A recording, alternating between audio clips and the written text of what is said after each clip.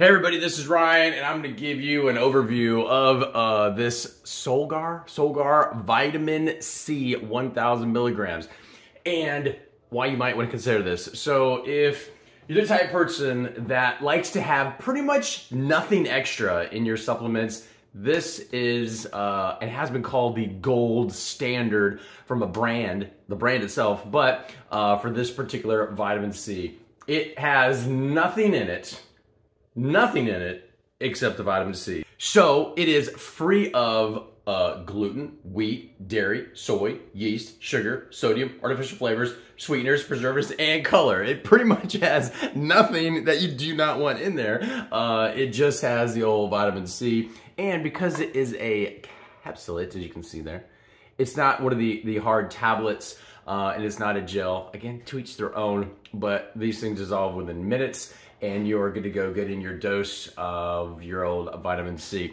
Hope this covers anything about this. Most importantly, if, again, this is the biggest, biggest thing that a lot of people pick up this brand. If you didn't catch that on the listing, this stuff is legit, and we'll tell you soon.